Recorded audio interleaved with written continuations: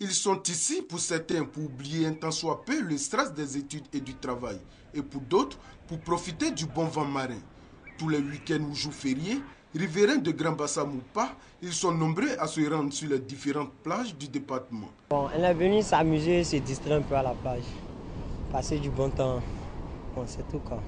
On vient passer du bon temps ici, en, en famille, entre amis, et ça s'arrête là quoi. Ça nous permet de fuir un peu le train-train quotidien.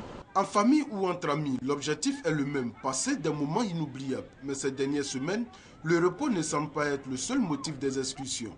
Selon le préfet Bédié Dioma Mathias, de nombreuses dérives sont constatées sur les plages et dans les avenues des Grands Bassam. Certains jeunes s'adonnent à la consommation excessive d'alcool qui aboutit très souvent à des bagarres entre eux ou avec des riverains. Les avenues menant aux différentes plages de la commune sont transformées en pistes de Formule 1 portant ainsi atteinte à la quiétude des populations.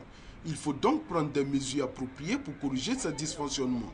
Les excursions de masse et individuelles à but non éducatif dans la ville de Grand Bassam ainsi que dans les villages de Mondoukou et Azureti sont donc suspendues. De l'image de Grand Bassam qui est aujourd'hui patrimoine mondial de l'UNESCO et qui accueille des visiteurs qui nous arrivent du monde entier. On ne peut permettre, on ne peut tolérer des comportements qui peuvent être de nature à ternir ces labels.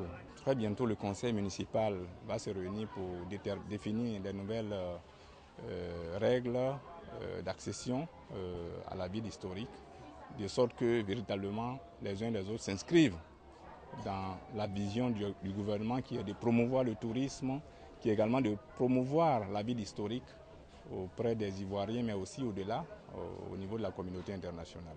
Cette décision, selon le préfet de Grand Bassam, ne vise pas les personnes régulièrement enregistrées dans les réceptifs hôteliers de Grand Bassam, les touristes et les visiteurs des monuments historiques. Ces personnes bénéficieront d'un encadrement des services municipaux et étatiques compétents.